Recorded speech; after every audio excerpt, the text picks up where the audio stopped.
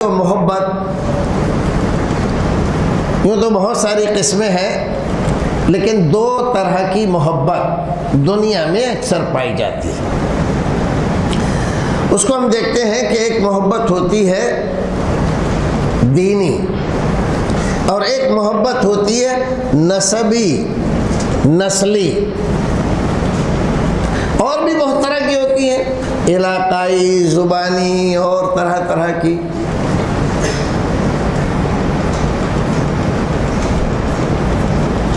اسلام نے جس محبت کا مطالبہ کیا ہے،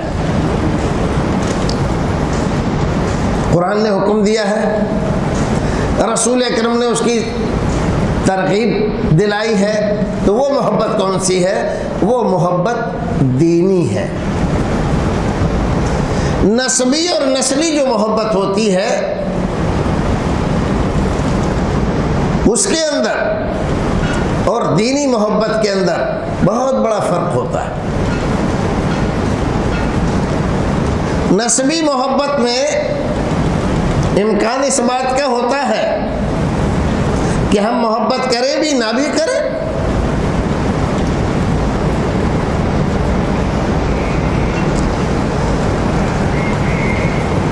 باپ اپنے بیٹے سے اس لیے محبت کرتا ہے، میرا بیٹا ہے۔ اپنے بھتیجے سے، اپنے بھانجے سے۔ اس لیے کہ میرا بھتیجا ہے، میرا بھانجا ہے۔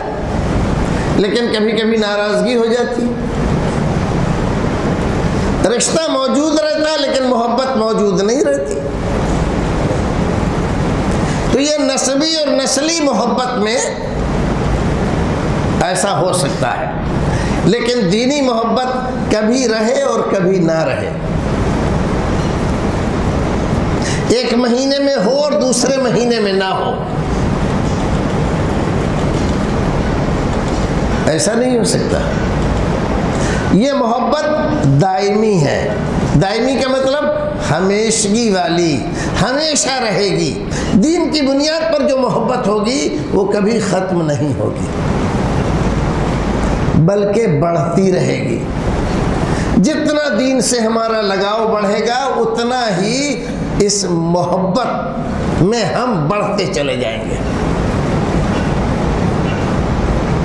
اور جتنا ہم دین میں پیچھے رہ جاتے ہیں، اتنا ہی محبت میں ہم پچھڑ جاتے ہیں۔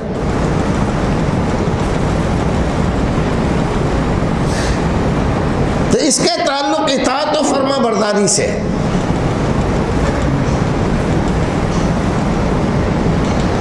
اطاعت و فرما برداری سے محبت بڑھتی ہے۔